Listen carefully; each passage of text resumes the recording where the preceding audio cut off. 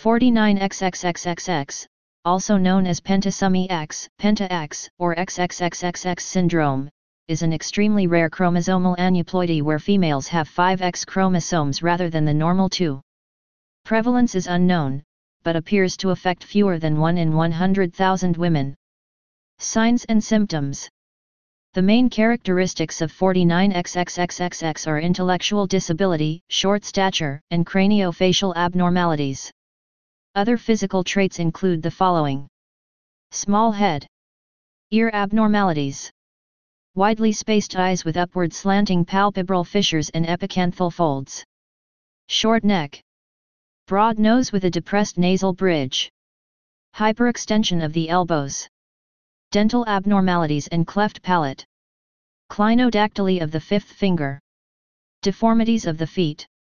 Heart defects. Now let's talk about the causes. The aneuploidy is thought to be caused by problems occurring during meiosis, either in the mother or in both the mother and father.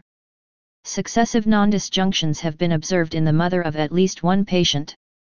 The features of the syndrome likely arise due to failure of X inactivation and the presence of multiple X chromosomes from the same parent causing problems with parental imprinting. In theory, X inactivation should occur and leave only one X chromosome active in each cell. However, failure of this process has been observed in one individual studied. The reason for this is thought to be the presence of an unusually large, and imbalanced, number of X chromosomes interfering with the process. Please subscribe and thanks for watching.